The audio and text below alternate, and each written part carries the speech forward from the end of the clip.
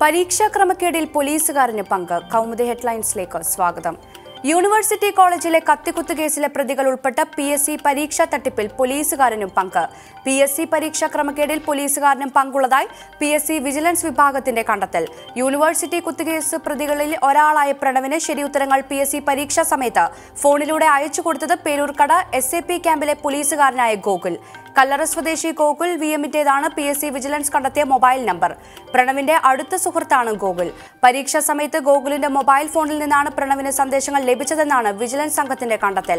ഒന്നാം റാങ്കുകാരനായ ശിവരഞ്ജിത് രണ്ടാം റാങ്കുകാരനായ പ്രണവ് എന്നിവരുടെ ഫോണിലേക്ക് പരീക്ഷാ സമയത്ത് നൂറ്റി എഴുപത്തിനാല് സന്ദേശങ്ങൾ വന്നുവെന്നും ഇവയെല്ലാം ഉത്തരങ്ങളായിരുന്നുവെന്നും നേരത്തെ പി എസ് സി കണ്ടെത്തിയിരുന്നു.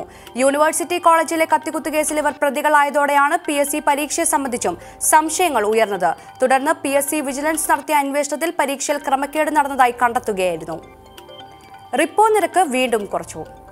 നാലാം തവണ റിപ്പോ നിരക്ക് കുറച്ച് റിസർവ് ബാങ്ക് റിപ്പോ നിരക്ക് പൂജ്യം ദശാംശം മൂന്ന് അഞ്ച് ശതമാനം കുറച്ച് അഞ്ച് ദശാംശം നാല് പൂജ്യം ശതമാനമായി. ജൂൺ ആദ്യവാരം നിരക്ക് അഞ്ച് ദശാംശം ഏഴ് അഞ്ച് ശതമാനമാക്കിയിരുന്നു. R B I governor Shaktikanta Das അധ്യക്ഷനായ ആറംഗ ധനനയ സമിതിയുടെ യോഗത്തിലാണ് തീരുമാനം.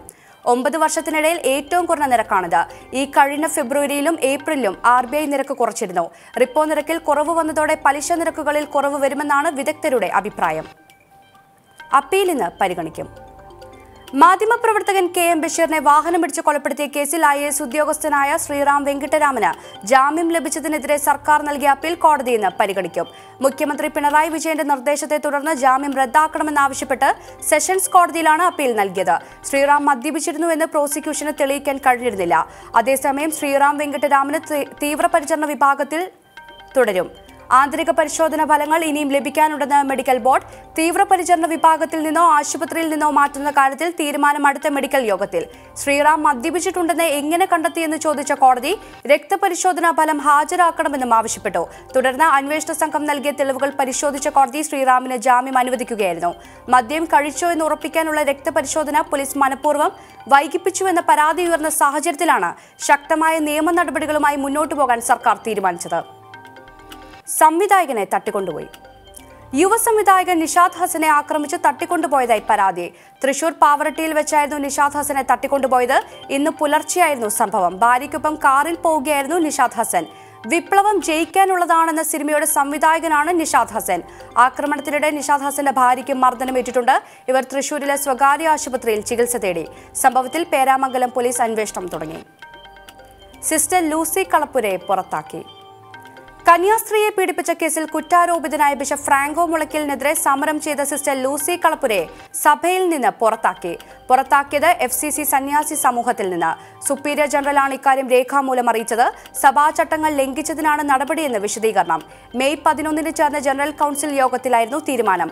പുറത്താക്കിയ നടപടിയെ നിയമപരമായി നേരിടുമെന്ന് സിസ്റ്റർ ലൂസി പത്ത് ദിവസത്തിനകം മഠം ഒഴിഞ്ഞു പോകാനാണ് ഉത്തരവെന്നും സിസ്റ്റർ ലൂസി പറഞ്ഞു. കനോൺ നിയമപ്രകാരം കന്യാസ്ത്രീ പാലിക്കേണ്ട ചട്ടങ്ങൾ ലൂസി കളപ്പുര ലംഘിച്ചതായി കാണിച്ച് കത്തോലിക്ക സഭ നേരത്തെ നോട്ടീസ് നൽകിയിരുന്നു. കന്യാസ്ത്രീ സമരത്തിൽ പങ്കെടുത്തു വിലക്ക് മറികടന്ന് തുടർച്ചയായി മാധ്യമങ്ങൾക്ക് അഭിമുഖം നൽകി. ദാരിദ്ര്യവ്രതം പാലിക്കാതെ സ്വന്തമായി കാർ വാങ്ങി ശമ്പളം മഠത്തിലേക്ക് നൽകിയില്ല.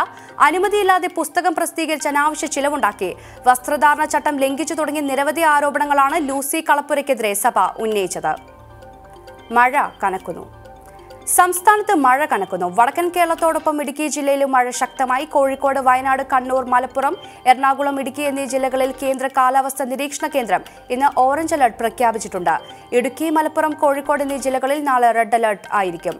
അതേസമയം കനത്ത മഴയിൽ ജലനിരപ്പ് ഉയർന്നതിനെ തുടർന്ന് കല്ലാർകുട്ടി പാമ്പ്ള മലങ്കര അണക്കെട്ടുകളുടെ ഷട്ടറുകൾ ഇന്ന് തുറക്കും. പെരിയാർ തൊടുപുഴയാർ മൂവാറ്റുപുഴയാർ എന്നിവയുടെ തീരങ്ങളിൽ താമസിക്കുന്നവർ ജാഗ്രത പുലർത്തണമെന്ന് ജില്ലാ ഭരണകൂടം അറിയിച്ചു. ഉരുൾപൊട്ടലുണ്ടാകാൻ സാധ്യതയുള്ളതിനാൽ മലയോര മേഖലകളിലുള്ളവർക്ക് ജാഗ്രത നിർദ്ദേശം നൽകിയിട്ടുണ്ട്.